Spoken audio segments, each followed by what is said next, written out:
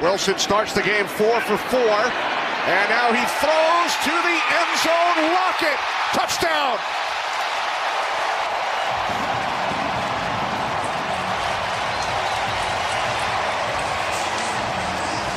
Well, I tell you what, he's working on rookie Jamel Dean, and Tyler Lockett does a heck of a job.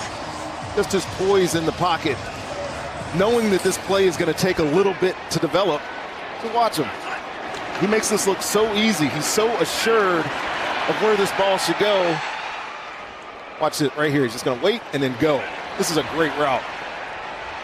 Pulls the deep defenders out of the play. Rookie has never seen that before. Touchdown, Seattle.